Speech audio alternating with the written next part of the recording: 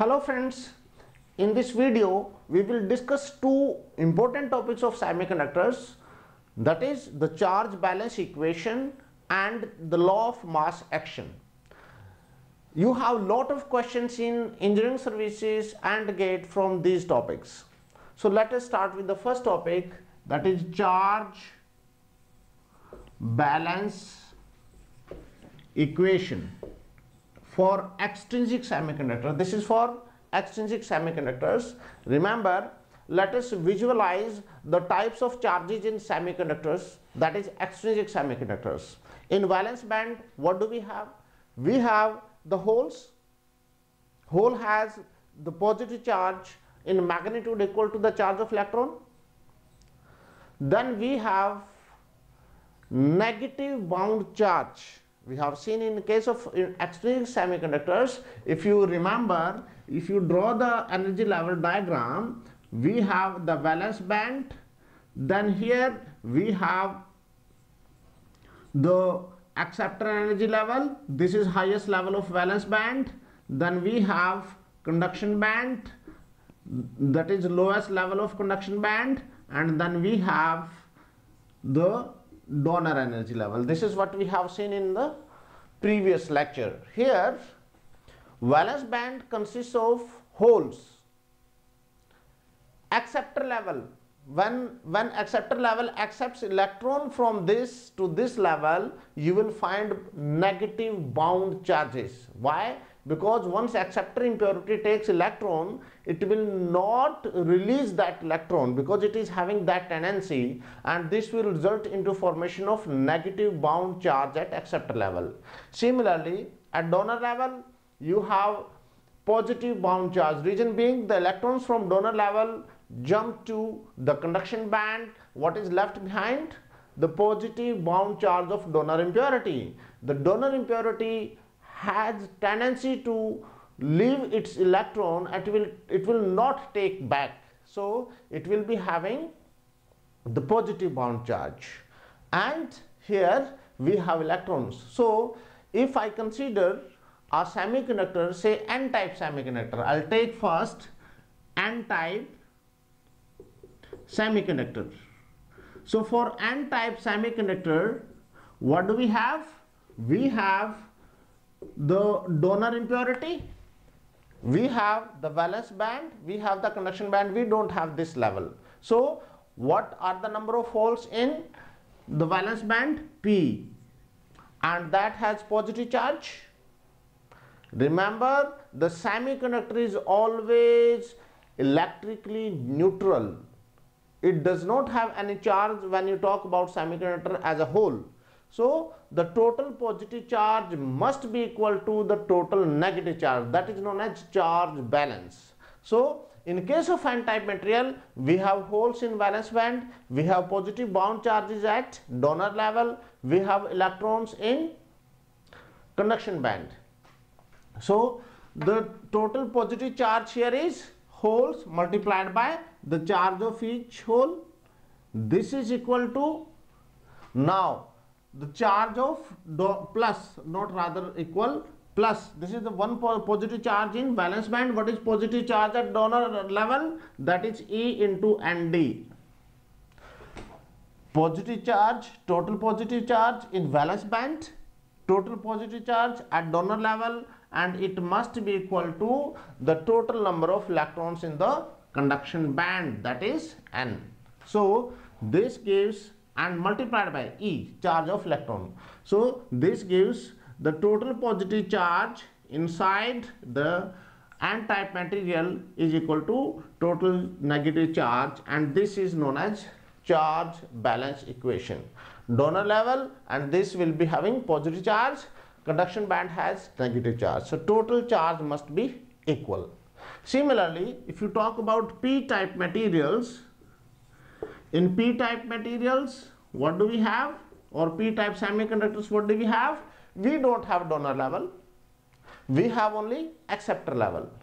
Acceptor level attains the acceptor impurity attains the negative charge. Why? Because electron from valence band jumps to this level and it will be having negative charge overall.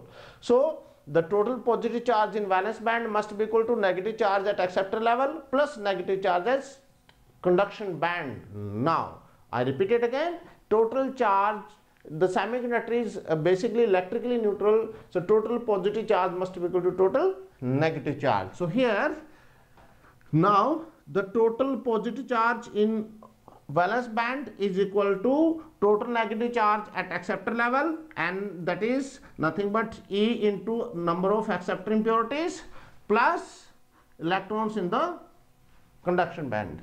So multiplied by E. So this gives P is equal to acceptor impurities plus electrons. So this is another balance equation. Now there is third category as well. Sometimes you have a semiconductor known as compensated semiconductor. A compensated semiconductor is one which has both types of impurities, N type as well as P type. So let us see the charge balance equation for compensated semiconductor that is nothing but the semiconductor having both types of impurities. So in that case we have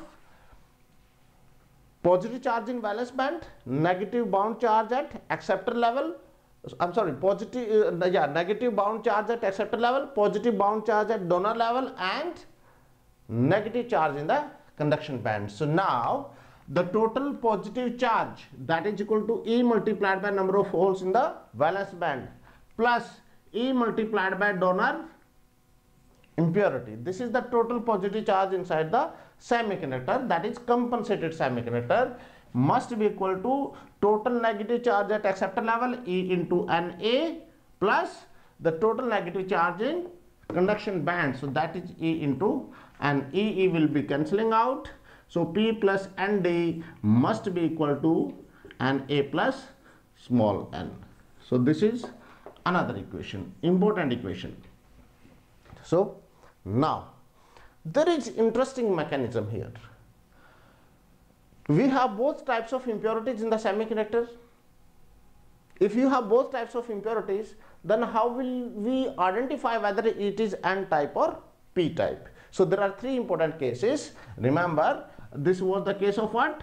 Compensated semiconductor. Compensated semiconductor means the semiconductor which has both types of impurities. So, now I will be talking about three cases. Case 1, case 1, when Na is more than Nd, it means acceptor concentration is more than donor concentration. The semiconductor, the semiconductor compensated semiconductor rather compensated semiconductor behaves like behaves like what? That is p type semiconductor. P type semiconductor. So when acceptor impurity is more. It behaves like p type semiconductor. Case 2 when nd is greater than na and it is very much clear from here. When nd is greater than na it behaves like donor uh, it behaves like n type material because number of electrons in conduction band are more than the number of holes in the valence band. So here it will be behaves like what? I'll be writing in short. Behaves like n type semiconductor. Then case 3 case 3 is what? If nd is equal to na if concentration in electrons and holes is same but not at intrinsic level it is more than that. Reason being because of impurities concentrations are not same as intrinsic level but concentration of electrons or holes are equal. In that case we call it the we call the behavior like intrinsic semiconductor. So here behaves like it behaves like intrinsic semiconductor. So these are the three important cases you should remember. I may be taking this topic again in law of mass action but you should understand the concept of compensated semiconductors. This can be uh, important topic for one mark questions and for engineering services. There can be question in engineering services. Now let us talk about the another important topic that is known as law of mass action and there are plenty of numericals in gate and engineering services from this topic that is law of mass action. According to law of mass action remember the product of electrons and holes in extrinsic semiconductors is always fixed a constant. So as per law of mass action n that is concentration of electrons multiplied by concentration of holes is equal to ni square. This is very important equation. You should remember this equation. As per law of mass action, the product of concentration of electrons in the conduction band, concentration of holes in the valence band is equal to Ni square. Now, we will be discussing three cases here. Case 1. For case 1, let us talk about n-type semiconductors. For n-type semiconductors, we have we have already seen what is the concentration of electrons. The concentration of uh, uh, uh, electrons is equal to, if you remember, that is the intrinsic level concentration. Intrinsic level concentration means whatever was the concentration of charge carriers before doping, I will say Ni plus the electrons due to donor concentration and this is just for your understanding. Although when you increase the donor concentration, what happens when you dope the semiconductor with donor impurity, the charge carriers in the conduction band increases. When charge carriers in the concentra concentration, uh, charge carrier concentration in conduction band increases, you have more electrons for recombination with holes in the valence band. So effectively, the concentration of holes in the valence band reduces below the intrinsic level. Because of what? Because of increased recombination rate. So this is not precisely equal to ni slightly less than ni. But just for mathematical understanding you i'll be taking ni. But there can be question in uh, especially in engineering services that concentration of holes in the valence band reduces below intrinsic level in n-type semiconductors because of increased recombination rate. That can be a statement based question in engineering services. Now, for n-type materials, the, the, donor concentration is assumed to be much much more than Ni. That is our assumption. So, this gives the concentration of electrons is almost equal to Nd.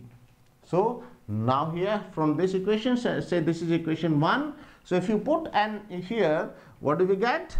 Nd uh, now as per law of mass action if you apply this equation so if you apply law of mass action Nd into p is equal to ni square. So this gives the concentration of minority carriers that is holes in valence band will be equal to Ni square by Nd this is what you have. That is concentration of holes in the valence band. Fine. So Nd is not equal to Ni so P is equal not equal to Ni Nd is much more than Ni so definitely P will be less than Ni that is what I explained. The concentration of holes in the valence band reduces the below reduces below the intrinsic level. Now i'll take the case 2 remember this equation? This is very important. You will have lot of numericals on this. I'll be taking the examples for but you should remember this equation directly. Now, let us take another case that is p-type materials. In case of p-type materials, we have the acceptor impurity, then we have holes in this and electrons in the conduction band. So, the concentration of holes will be equal to the intrinsic level plus acceptor impurity here. Again, Na is considered to be much much greater than Ni. So, I will be taking here P approximately equal to Na. Here it will be nothing but Na into N and it will be equal to concentration of electrons in conduction band equal to Ni square by Na. Again see this in case of p-type materials the concentration of electrons in the conduction band falls below the intrinsic level which is very much evident from this equation. Here Na is much much greater than Ni. If Na is greater than Ni, so this will be definitely less than Ni. So concentration of electrons in conduction band falls below the intrinsic level because of increased recombination rate. That can be another one mark question in GATE and maybe objective type question in prelims of engineering services. Now let us take the third case Third case is nothing but compensated semiconductors. Compensated semiconductors. So in case of compensated semiconductors, we have already seen depending upon the level of the impurities, you have to take the consider the type of semiconductors. Let us take one case that is say the acceptor level is the uh, uh, acceptor level is much much greater than the donor. Donor concentration so the acceptor concentration is much much more than the donor concentration. So in that case material is behaving like p type materials. So if it is behaving like p type materials so material is what? Material behaves like p-type material. So in that case concentration of holes will be approximately equal to Na minus Nd that is the level of uh, concentration in of holes in valence band. So in that case N will be equal to Ni square upon Na by Na minus Nd that is concentration of electrons in the conduction band. For compensated semiconductors this is important equation you should remember. There can be question numerical on this. So concentration of holes is approximately equal to this Na minus Nd and in that case we have like this. So now case 2 this is uh, again say uh, case A kahiye isko say this is case A now let us take about the case 2. In case 2 I will be taking less case B rather Nd is much much greater than Na. Then materials behave the material behaves like N type the concentration of electrons will be Nd minus Na fine? So in that case the concentration of holes will be Nd minus Na that is what you have to take. So these are the two cases. Third case that is intrinsic Nd is equal to Na so concentration is directly obtained that is Ni plus Na Ni plus Nd but uh, you don't have any questions or concept on that. So the, here we have two sub cases in compensated that is case A and case B. I hope you will remember all these equations because you have lot of questions on these formulas, these expressions. So uh, now I will be taking example on the law of mass action.